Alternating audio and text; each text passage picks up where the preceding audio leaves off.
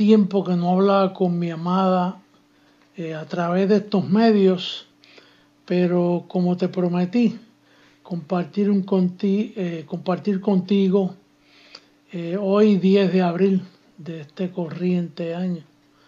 Ah, quiero hacerlo por amor a lo que más amo, que es la amada. y la razón que quiero hacer esta grabación es por causa de cosas que me llegan de diferentes países, que me dan tristeza por causa de que atentan contra la unidad del espíritu.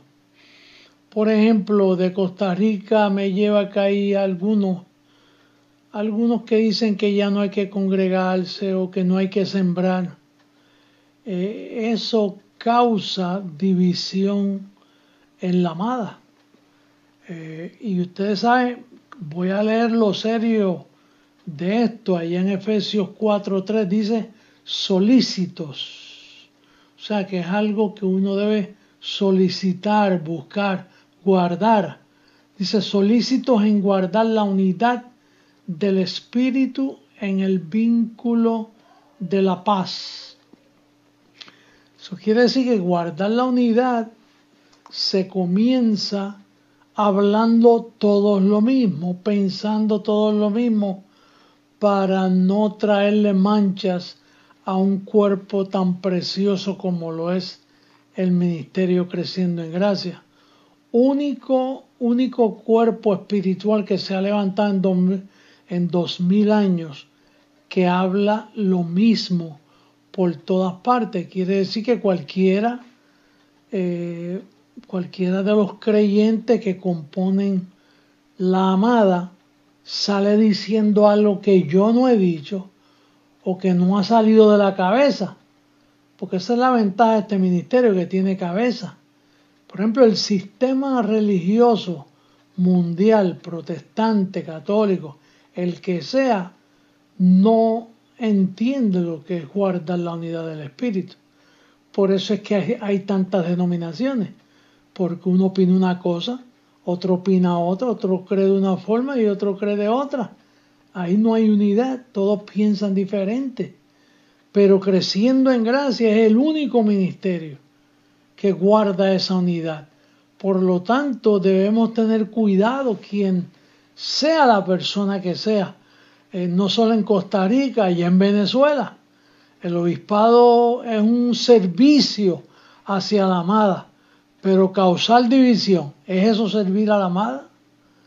Eh, o, decir que, yo voy a morir o que ya estoy muerto. ¿Es eso un servicio a la amada? Eh, de allá de Venezuela me han causado eh, situaciones y por eso el obispado tuvo que ser cambiado, porque el obispo que estaba no guardaba la unidad del espíritu, se burlaba de, del Armagedón. No digan que nos vemos en, en Armagedón. ¿Por qué? Porque Apocalipsis dice que Armagedón es una guerra.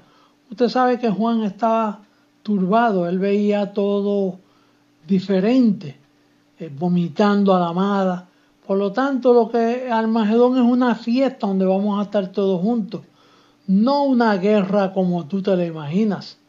Por lo tanto, nos vemos en Armagedón.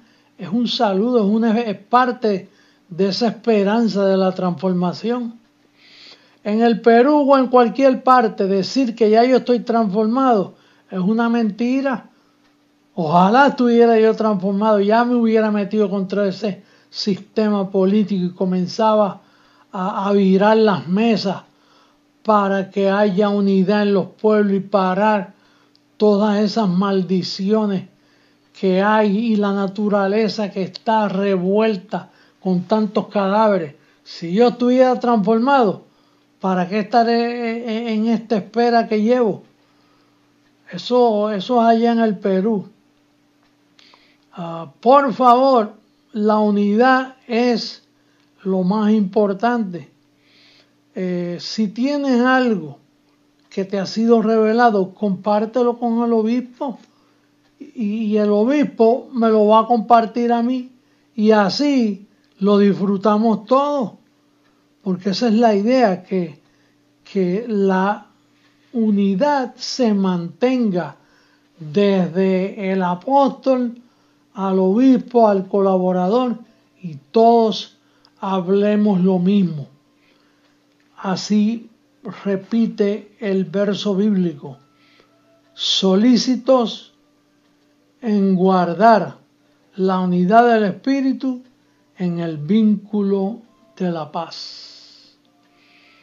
Así que bendecidos, yo recibo que ninguno de ustedes cause divisiones. Si ya no eres obispo porque se te mandó a que le dieras oportunidad al otro, eso no es excusa para no congregarte o porque no estás recibiendo una siembra de la amada. Eso no es excusa para no congregarte. Al contrario, eso es lo que prueba que tú estabas ahí por tu vientre. Si dejas de congregarte por dinero.